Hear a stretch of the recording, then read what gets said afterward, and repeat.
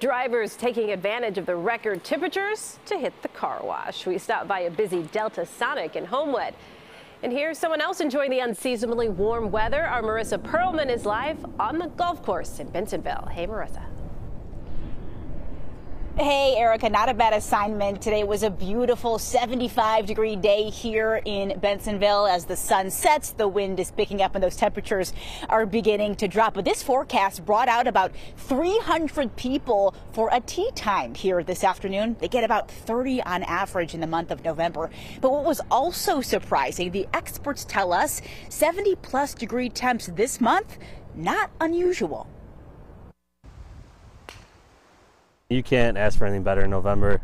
A late season packed golf course is a welcome surprise to general manager Andrew Godfrey. It, it just helps our bottom line a little bit at the end. It's kind of like um, just us finding a little extra extra revenue the, on the back end, which is awesome to have for. The greens here are full on this Thursday in November. Some folks playing hooky from work to take advantage of the temperatures. I'll take a 40 in in November in Chicago in this wind. So having fun. I don't think there's a course in the Chicagoland area that's got an open tee time today. Crazy or what? North Avenue Beach now closed for the season, but this weather is what's bringing the dogs out. Will you be thinking about this in a couple months? Oh, absolutely. The National Weather Service says 70 degree temps in November are not as rare as you may think. Chicago typically sees a period in late fall when temperatures rebound as Mother Nature gives one last warm wave before the winter season takes control.